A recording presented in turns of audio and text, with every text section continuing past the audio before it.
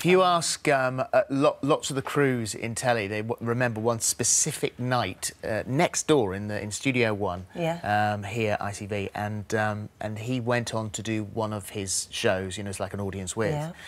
Um, and decided that he was actually going to tell his entire joke catalogue because he wanted to get it on record.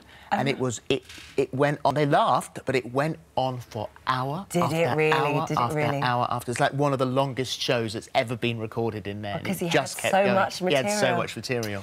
Bless Yeah. him. Um, well, we've, uh, you, the tributes have been flooding in, as you'd expect. Donna said, My daughter received a bravery award from Ken, and this photo was captured of her asking him for an autograph. How cute is that? Uh, Pat says we met Sir Ken Dodd after his show at Southend Theatre, two o'clock in the morning, and he was uh, he was the one who wanted to talk and tell us jokes. His PA had to drag him away. Such a nice man, definitely Britain's greatest comedian. Jan said, Ken was such a funny man and a true scouser. A sad loss for Liverpool. Yeah, and Pauline says I saw uh, Ken at the uh, Playhouse in Whitley Bay. What an excellent time he had. He was a true gent and didn't finish until past midnight. See, that was the, that's the thing. Yeah. That, that other one, that picture that we just showed a moment ago, it's two o'clock in the o'clock in morning. the morning. You got your money's worth. Yeah. That's for sure. Oh, lovely. Thank you very much for those.